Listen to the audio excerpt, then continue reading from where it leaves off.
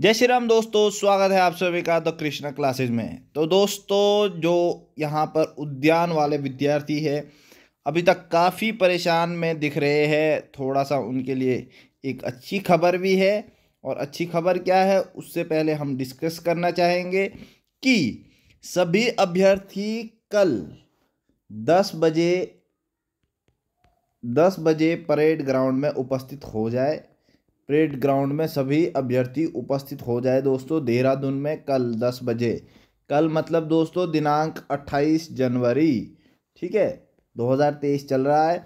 तो मैं आप सभी को फिर से बोलना चाहूँगा 28 जनवरी, यानी कल सभी अभ्यर्थी उपस्थित हो जाए। और आज क्या हुआ, क्या नहीं, इसका आप सभी का जो मैसेज आ रहे हैं ग्रुप में भी तो आप सभी से हम आज बताना चाहेंगे कि आज की स्थिति क्या रही। तो जैसा कि दोस्तों कल कहा गया था कि आज सभी लोग मिलने हैं तो देहरादून के जितने भी अभ्यर्थी थे आज आए थे। और मैं बता दूँ बहुत ही गर्व के साथ आप सभी को कि देहरादून के आठ या दस अभ्यर्थी ही आज होंगे।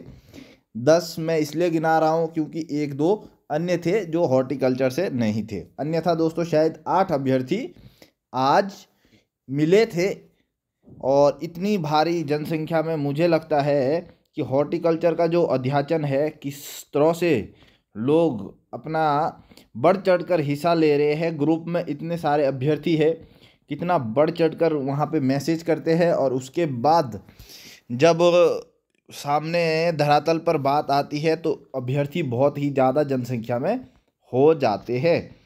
तो उसके सिवाय दोस्तों, हम बात करेंगे आज क्या हुआ। तो आज की जो स्थिति है, उम्मीद करेंगे वो कल की स्थिति ना रहे। तो इसलिए दोस्तों मैं फिर बोल रहा हूँ, परेड ग्राउंड में दस बजे कल मिल जाइए सभी लोग। ठीक है दोस्तों? परेड ग्राउंड में और सबसे पहले हमें कल परेड ग्राउंड में जुगरान जी से मिलना है, जो भाजपा के प्रवक्ता है। तो जुगरान जी से सबसे पहले मिलना होगा परेड ग्राउंड में। और उन्होंने कहा है कि हम सभी जितने भी छात्र कल उपस्थित होते हैं, सभी वहाँ से विभाग की ओर, हालाँकि विभाग में कल छुट्टी रहने वाली है, लेकिन उनका जो मेन मकसद रहने वाला है, वो है विभाग के जो मंत्री है, हमारे गणेश जोशी जी, उनसे मुलाकात का रहने वाला है। तो कल दोस्तों सभी छात्रों से निवेदन है, ज़्यादा से ज़्यादा संख्या में आए और जो विभाग के मंत्री है, उनसे मिलना हो जाएगा। और अगर कुछ ऐसा स्थिति उत्पन्न होता है कि मुख्यमंत्री से पुनः मिलने का मौका मिलता है, हालाँकि सबसे बड़ा धन्यवाद हम करना चाहेंगे।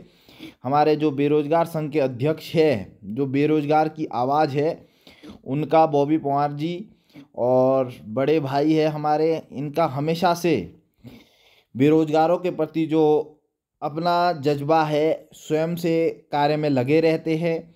एक बार बोलने पर उनका पूर्ण रूप से क्या है, योगदान रहता है बेरोजगारों के प्रति।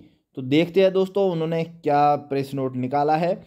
आज दिनांक 27 जनवरी 2023 को हरिद्वार एसएसपी श्री अजय सिंह जी के द्वारा उत्तराखंड बेरोजगार संघ के प्रति मंडल को सचिवालय स्थित मुख्यमंत्री कार्यालय में माननीय मुख्यमंत्री जी से मिलवाया।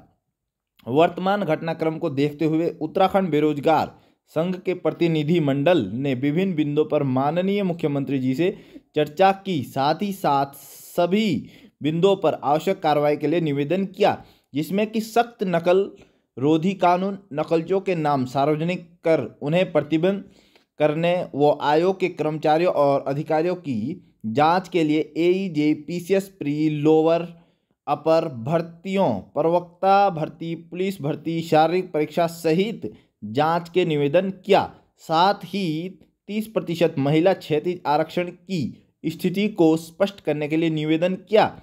सिंचाई विभाग के 228 पदों को गतिमान भर्ती में जोड़ने हेतु मांग रखी और दूसरा है दोस्तों, उद्यान विभाग प्रक्रिया। वापस लिए गए अध्याचन को यथास्थिति रखने की साथ ही असिस्टेंट प्रोफेसर भर्ती प्रक्रिया, एपीआई स्कोर पद्धति को हटाने की बात रखते हुए कई अन्य बिंदुओं पर चर्चा हुई। तो दोस्तों, जो हमारे यहाँ पर बेरोजगार संघ का प्रतिनिधिमंडल है, वो गया था और उन्होंने बात कही है। यहाँ पे भी आप देख सकते हैं, उद्यान की भर्ती प्रक्रिया में वापस लिए अध्याचन को यथास्थिति रखने के संदर्भ में। तो ये कहा गया, दोस्तों और इसका आपको मैं दिखा देता हूँ, बेरोजगार संघ बॉबी पवार जी ने। ये आप देख सकते हैं सिग्नेचर के साथ। इन्होंने उद्यान विभाग में पूर्व में जारी विज्ञप्तियों के संदर्भ में अपनी एप्लीकेशन दी है किससे? मुख्यमंत्री जी से। तो मुख्यमंत्री जी से स्पष्ट रूप से बात हुई, सामने बात हुई और हमारे जो आवाज़ है बेरोजगार की, बॉबी पवार जी, उनका हम दिल से धन्यवाद करेंगे और आप सभी से भी कहेंगे कि आप उन्हें धन्यवाद करें। और उन्हें इसी तरह हमारे समर्थन में रहने के लिए निरंतर निवेदन करते रहना चाहिए सभी व्यक्तियों को। और दूसरी दोस्तों मैं फिर से बोलना चाहता हूँ, कल दस बजे आप सभी को आना है और ज़रूर आना है जितना हो सकता है, क्योंकि अब हमारे पास एक अध्याचन है जो कि किसके पास? मुख्यमंत्री जी के पास पहुँच चुका है। उसको लेकर हमें अन्य कई जो ऐसे मंत्री है या आपके क्षेत्र के विधायक है, आप उनके पास भी जा सकते हैं। अपने जो क्षेत्र के विधायक है, उनसे भी एक कंफर्मेशन के रूप से आप जो निदेशक हैं, जो खास जहाँ तक हमें जानकारी मिल रही है, निदेशक साहब जी का स्पष्ट रूप से कहना था कि जो बायोलॉजी वाले हैं, उन्हें ए बी सी नहीं आती। सबसे पहले तो हम उन्हें मिले नहीं अभी तक, वरना हम ज़रूर उनसे एक बात कहते कि जो बायो वाले स्टूडेंट है क्या वो बिना परीक्षा के आपके वहाँ ज्वाइनिंग करने आए हैं?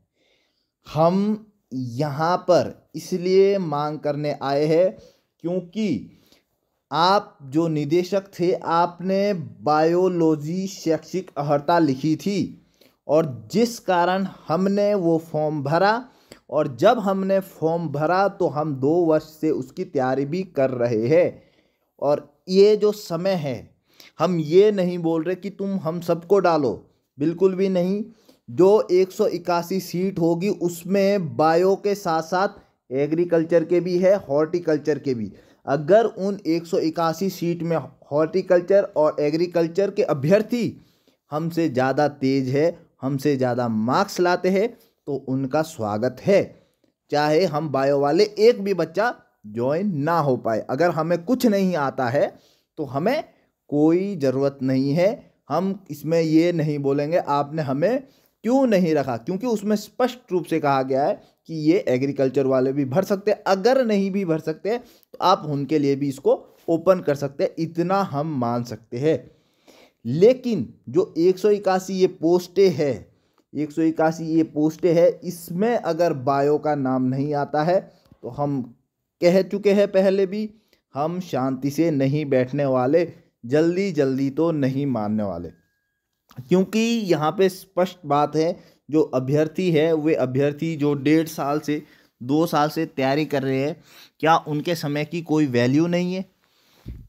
अगर वैल्यू है तो फिर इस तरह से क्यों कहा जा रहा है कि जो बायो वाले स्टूडेंट हैं, उन्हें ए बी सी तक नहीं आती?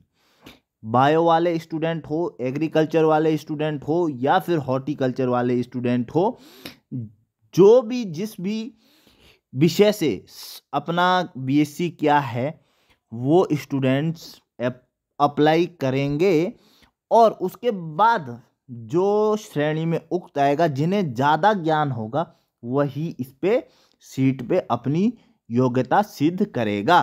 तो ये उनके ज्ञान के आधार पर सिद्ध किया जाएगा। बाकी इसमें जो ट्रेनिंग होती है, क्या इतना भी नहीं सिखा पाते ट्रेनिंग में कि वो अच्छे से कार्य कर सके।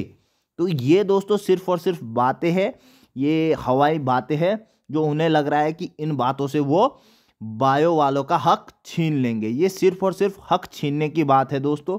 हमारा जो दो साल से समय छीना गया है, उसी की बात है और सिर्फ़ और सिर्फ़ लुभावने के लिए ये जो पहले अभ्याचन दिया गया था, हम इसका कड़ा विरोध करते हैं, कड़ी निंदा करते हैं और मुख्यमंत्री साहब से हमने ये रिसीविंग लिया है और और भी ज़रूरत पड़े, हम फिर से मुख्यमंत्री साहब के पास जाएँगे। हम गणेश जोशी जी के पास जाएँगे। हम अन्य जो भी अपने क्षेत्र के विधायक हो, उनके पास भी जाएँगे और उनसे कहेंगे कि कृपया करके ये जो एक सौ इक्यासी पद है, इसमें बायो वालों को परीक्षा में बैठने का पूरा पूरा अधिकार दिया जाना चाहिए। तो ये दोस्तों आप सभी के लिए भी एक चेतावनी है कि आपसे हक छीना जा रहा है और आप शांत बैठे हैं। ज़्यादा से ज़्यादा दोस्तों 300 स्टूडेंट लैब असिस्टेंट में और 300 स्टूडेंट फॉरेस्टर में सिलेक्ट होने हैं। उसके बाद के स्टूडेंट्स हैं, वो कहाँ जाएँगे? अगर 300 600 में 200 स्टूडेंट्स और ऐड हो जाते हैं तो 800 स्टूडेंट साइंस के लिए भी ऐड हो जाएँगे। इससे पहले दोस्तों फॉरेस्ट गार्ड वहाँ पे भी आर्ट्स रखा गया है साइंस का और कहा जा रहा है वीडियो बी पीडियो में भी। पहले जो वीडियो की भर्ती होती थी, उसमें भी साइंस मांगा जाता था, लेकिन अब इसमें भी आर्ट्स रखा गया है। जब आर्ट्स के अभ्यर्थी ये चीज़ें फॉरेस्ट गार्ड में सब कुछ अच्छे से कर सकते हैं ट्रेनिंग के बावजूद, हम नहीं कह रहे कि ये पद सिर्फ़ और सिर्फ़ साइंस वालों के लिए दिए जाए। हमें कोई दिक्कत नहीं है, हमें, हम इसको फॉर्म को भर सकते हैं तो कोई दिक्कत नहीं है। अगर साइंस और आर्ट्स वाले पढ़ने में तेज है तो वो इस पद के हकदार है, क्योंकि सरकार ने ये उन्हें विभाग दिया है। और अगर आपको संशोधन करना है तो आपको ये संशोधन या तो पहले करना चाहिए था, जब विज्ञप्ति नहीं आई थी, और अब विज्ञप्ति आ चुकी है तो ये अगर आपको करना है, आप अगली विज्ञप्ति पे कर सकते हैं। इस विज्ञप्ति पे आप हमारा समय और हमारा हक नहीं छीन सकते हैं। तो दोस्तों, वीडियो को ज़्यादा से ज़्यादा शेयर करना, जिससे कि ज़्यादा से ज़्यादा अभ्यर्थी कल दस बजे परेड ग्राउंड में उपस्थित हो। मैं फिर कह रहा हूँ, ये आपकी लड़ाई है। अगर इस पर आप ही उपस्थित नहीं दर्ज करेंगे तो हमारे जो अध्यक्ष साहब है, वो तो अपनी ओर से पूर्ण रूप से मेहनत कर रहे हैं। लेकिन अगर हम सब ही खड़े नहीं होंगे दोस्तों तो बात कैसे बनने वाली है? इसके अलावा अन्य मुद्दों पर भी उन्होंने स्पष्ट बात की थी, जो ये 228 पद है।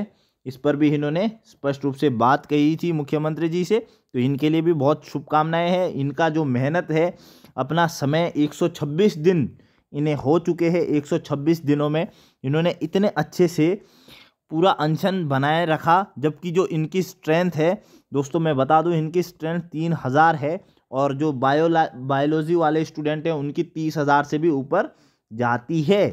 तो क्या होगा दोस्तों? जो तीस हज़ार में से सिर्फ़ और सिर्फ़ आठ आ रहे हैं और तीन हज़ार में से इतने स्टूडेंट्स आ रहे हैं, लगभग लगभग सभी स्टूडेंट्स उपस्थित हो रहे हैं, जो नहीं हो रहे हैं, वो भी अपना समर्थन पूर्ण रूप से कर रहे हैं। क्योंकि उन्हें मना किया जा रहा है कि आप अभी अनशन में नहीं आइए, आप कुछ दिन बाद आइए, अभी जो है वो अनशन करेंगे। तो ये दोस्तों एकजुटता की बात है, इसीलिए मैं ये, मैंने ये एग्ज़ाम्पल आपके सामने रखा। बाकी आप सभी की अपनी इच्छा है, आप अगर नहीं आते हैं तो दोस्तों नुकसान सिर्फ़ और सिर्फ़ आपका होने वाला है। अगर मेरे एक से क्या होगा वाले स्टूडेंट है तो मैं आप सभी को फिर से बताना चाहता हूँ, आपके एक के आने से ही यहाँ पे बात आगे बढ़ने वाली है। अन्यथा यह बात आगे नहीं बढ़ेगी। एक अध्यक्ष साहब जो है, हमारे बॉबी पवार जी, वो भी कितना करेंगे। इसके लिए दोस्तों, आप सभी को आना आवश्यक है। तो मैं फिर बोल रहा हूँ, आप ज़रूर आए दोस्तों कल परेड ग्राउंड में और जुगरान जी के नेतृत्व में और हमारे बॉबी पवार जी के नेतृत्व में आप सभी लोग आगे बढ़े और मुख्यमंत्री तक ये बात जा चुकी है दोस्तों। इसी तरह से आगे ये बात बढ़नी है। जब आप सब, जब इस पर अपना समर्थन देंगे, अपना हक मांगेंगे हम किसी से कोई ज़बरदस्ती नहीं कर रहे हैं। हमें जब पहले बताया गया कि तुम्हें बायोलॉजी के साथ एडमिशन लेकर इस फॉर्म को भरना है तो हमने ये फॉर्म भरा था, अन्यथा हम ये फॉर्म नहीं भरते। तो आज के लिए दोस्तों इतना ही। बाकी दोस्तों बने रहे। वे अभ्यर्थी जो बिल्कुल दूर दराज के क्षेत्र में नहीं आ सकते, वो चैनल को सब्सक्राइब कर सकते हैं अगली अपडेट के लिए। बाकी दोस्तों, मुझे लगता है ज़रूरत नहीं पड़नी चाहिए कि हम अपडेट वीडियो के माध्यम से दें। ज़रूरत ये होनी चाहिए कि आप सभी को अपडेट धरातल पर आकर होनी चाहिए। आज के लिए इतना ही। धन्यवाद। अपना ध्यान रखें, अपनों का ध्यान रखें। जय हिंद, जय भारत।